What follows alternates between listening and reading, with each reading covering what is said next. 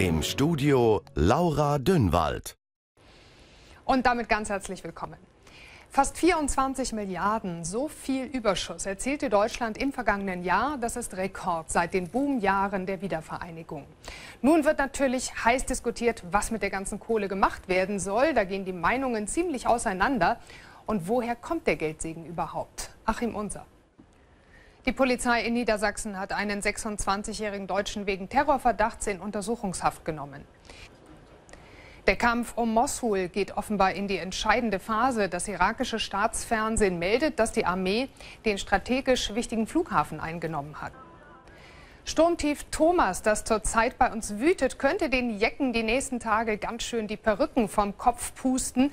Der deutsche Wetterdienst rechnet mit orkanartigen Böen. Einige Karnevalszüge wurden vorsorglich abgesagt. Und auch auf den Straßen war und bleibt es gefährlich. Fanny Juschen.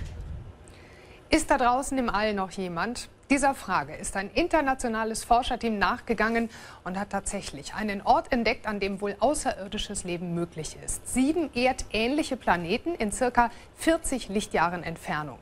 Nach kosmischen Maßstäben fast um die Ecke, aber dennoch sehr weit weg. Peter Hantjes. Dass Menschen Alkohol, Drogen oder spielsüchtig sein können, wissen wir alle. Doch wie sieht es mit Labellosucht aus?